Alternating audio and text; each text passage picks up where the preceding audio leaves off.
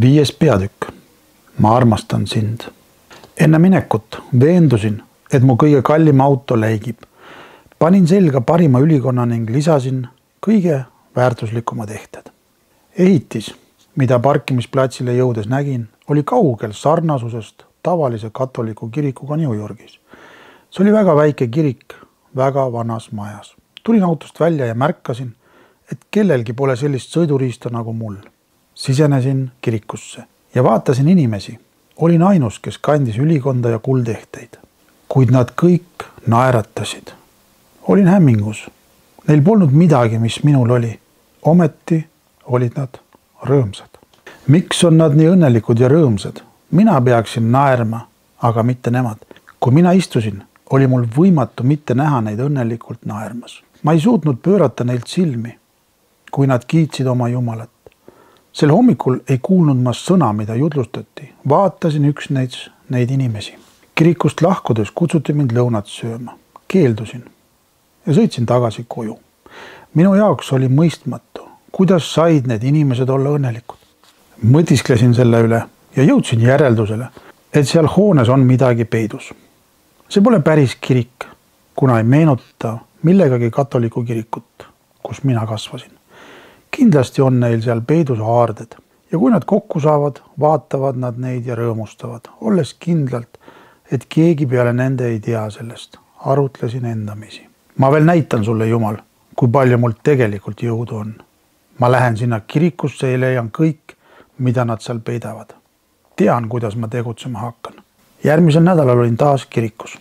jätsin mõneks ajaks oma asjad kõrvale, kuna tahtsin näidata Jumalale, kui palju mul on jõudu jälle sattusin segadusse ega suutnud kuulata jutlust.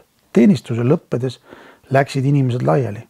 jutlustaja seisis ukse juures ning tervitas mind, soovides kätt suruda. esimese reaktsioonina tõmbasin oma käe ära. ära puutu mind. kui tahad rääkida, räägi, aga ära puuduta. ta ei ehmatanud, vaid astus mulle lähemale. tänan sind, et oled meid kahel viimasel nädalal külastanud.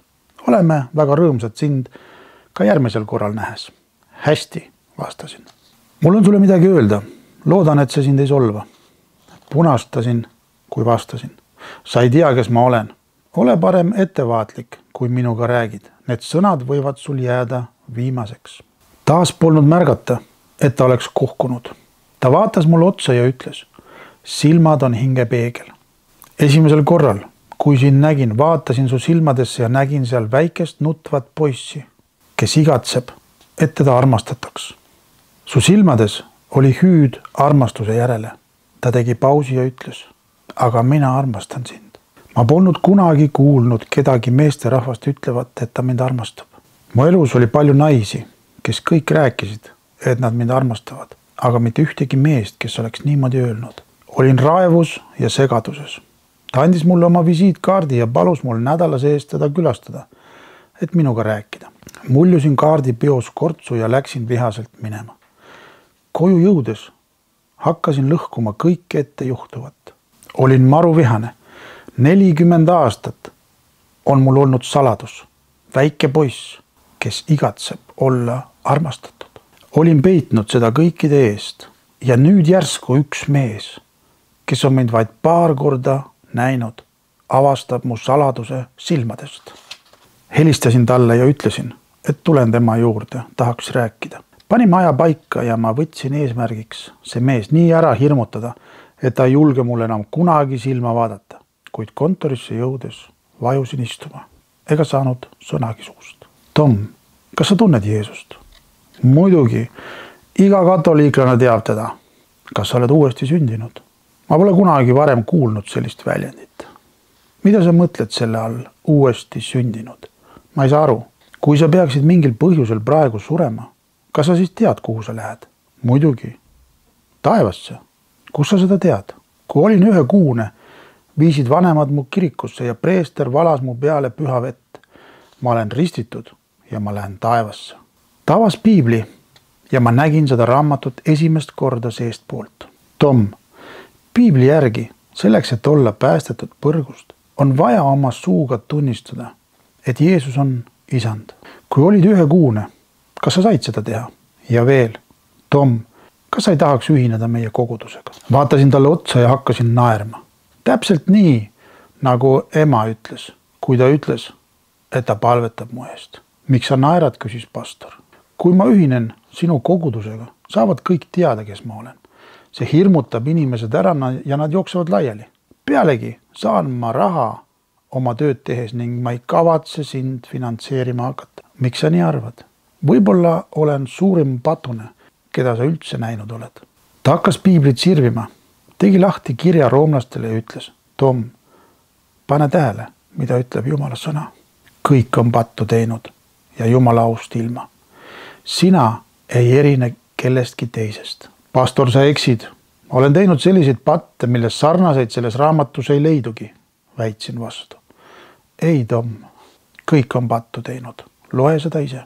esmakordselt elus avasin enda ja ütlesin pastorile. ma olen teinud elus nii palju kurja. jumal tahab mind tappa. tuletasin meelde kõik, mida kurja ma olen teinud. rääkisin selle kõik pastorile ära. ma ei tea, kui palju aega möödus ent kui ma silmad avasin, siis ma enam ei istunud, vaid põlvitasin keset tuba. ma nutsin nagu väike laps ega saanud pidama. Mu nägu, särk ja ülikond olid pisaratest märjad. pastor põlvitas minu kõrval ja nuttis samuti. vaatasin teda ja küsisin, miks sina nutad? kas tead, mis praegu juhtus? jah, ma läksin hulluks, vastasin. ei, praegu sa avasid oma südame uksed et Jeesus sisse lasta. kas ma võin sind juhtida palvesse? sain aru, et minuga juhtub midagi erilist ja ma olin nõus. Palvetasime ja kogu valu, mis minusse oli kogunenud lapsepõlvest alates, lahkus minust. püsti tõustes tundsin, nagu oleks miski mind läbistanud, tervendades mu sisemuse kogu sellest valust.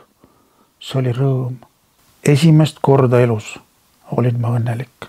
pastor andis mulle piibli ja paar piiblitundi ning näitas, mida teha. ja ma läksin koju.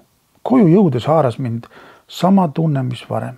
hakkasin nutma ning paluma. Jumal, ära tapa mind, ma ei taha surra. seekord naeris Jumal minu üle. tappa sind, ei, ma tahan sind taastada. viienda peatüki lõpp.